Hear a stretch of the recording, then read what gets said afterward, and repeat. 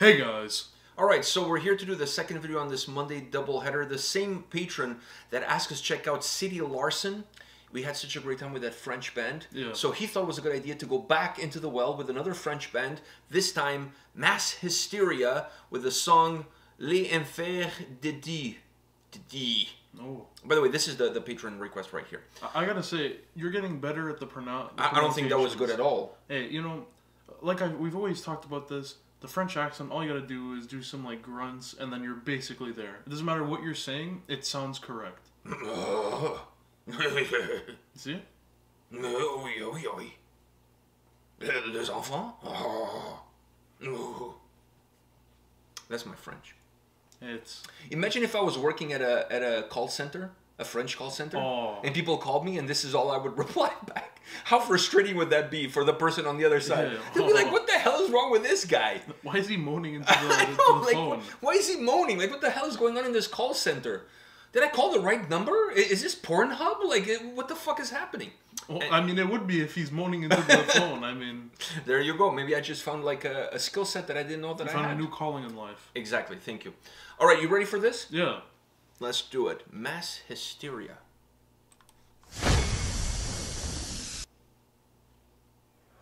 C'est bientôt la fin de la journée, de la soirée. Je veux que tout le Hellfest lève le poing en l'air pour ceux qui sont partis trop tôt. Au Bataclan, au Stade de France, à Nice, à Strasbourg. Faites du putain de bruit. Levez les poings en l'air et faites un putain de bruit.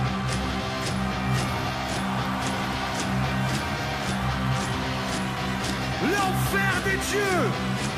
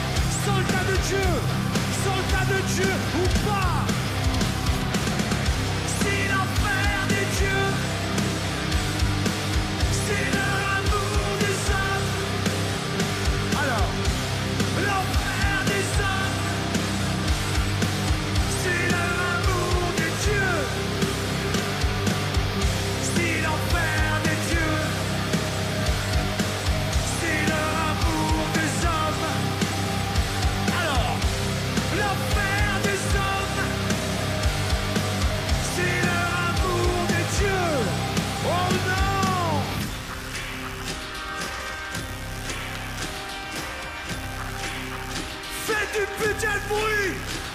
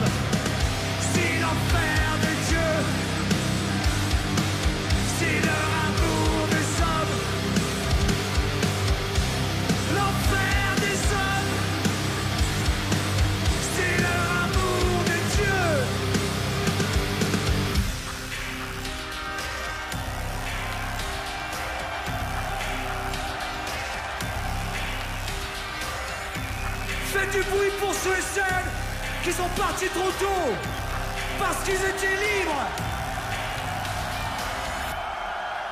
Wow. Wow, les aventures de Tintin. L'appelait Hergé. Et Pépé les Pew Euh, ah oui, hein. Ah oui, hein. Oh. Astérix, Obélix. Astérix, Oblix. À tout le monde, à tous mes amis, je vous aime, je dois partir. Makes no sense whatsoever. It, it makes. I mean, it- the sentence makes sense. It Oh. doesn't make sense me saying it now, Yeah. unless I unless I get up and leave. But uh, this is the this is the French that I know. Like we don't get a lot of chances to. And, and people think, aren't you guys from Canada? Just because we're from Canada doesn't make us bilingual. I, I am bilingual, but that's Portuguese and English, not Yeah. not French. If we lived, if we lived in Montreal, it would have been different. It's a different story. Yeah. But but but even the French from Montreal, they, they think they're hot shit. But let's face the facts. When they go to actually a, a French-speaking country like France, people look at them the same way I look f- I look at people from the islands, like the ones with the deep accent. I, I have no clue what they're saying. I, I'm not listen, friends.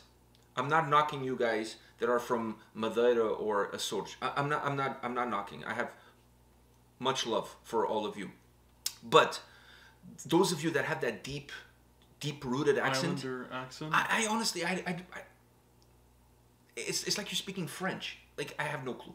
So, anyways, uh, I'm just saying that the, the the guys from Quebec who think they're hot shit when they speak French. Let's face the facts. They sound nothing like like a good like yeah, like like you know, Actual French guys. like Zinedine Zidane. They sound nothing like him, or Didier Deschamps. Just saying. or Michel Platini.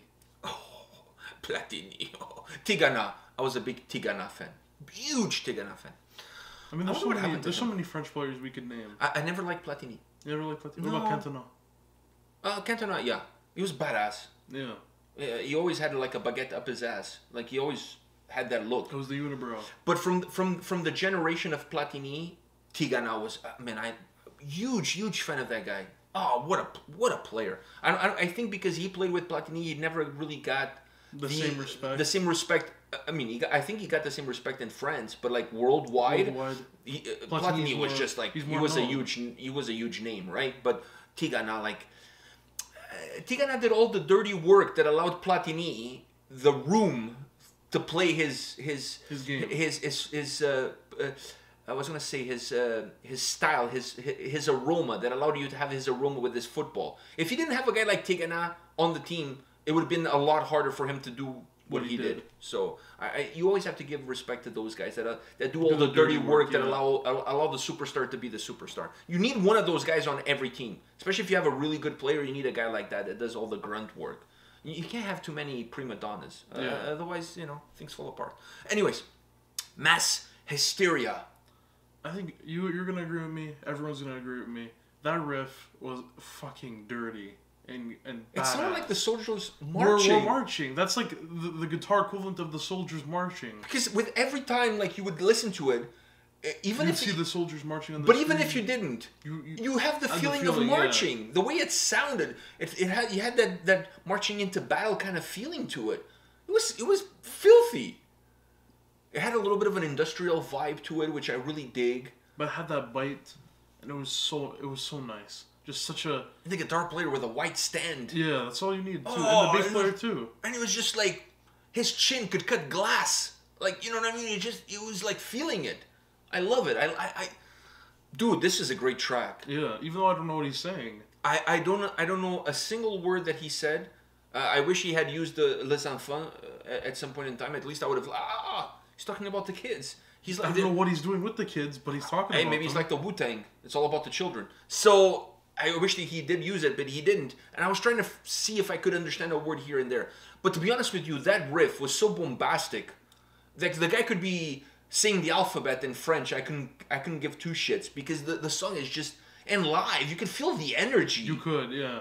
wow, I don't know where this festival, I don't know what festival this is, but live you could feel the energy from the crowd. The crowd was like feeling it, and they were they were feeling it too. There was this, th- there was this, um, uh, what do you, what do you say? This uh, recipro- reciprocity is that the word? If it isn't, it is a word now.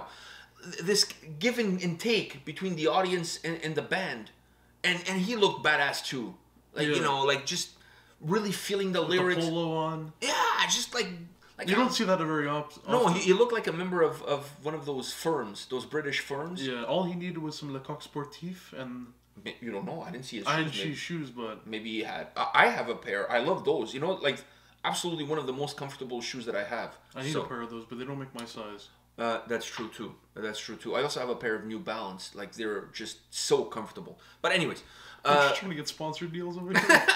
hey, whatever. Those Le Coq Sportif cost me an arm and a leg. Yeah. Literally if an that arm and a leg. we would have to have like a little shoe cam, and it would just show our shoes throughout the whole. Just put our shoe, just put our feet on top of the table.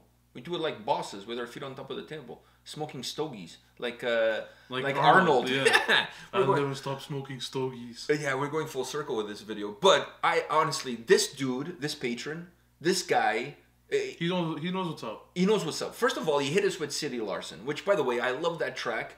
And the guys in the band were really cool. They sent us a care package with T-shirts and all sorts of stuff.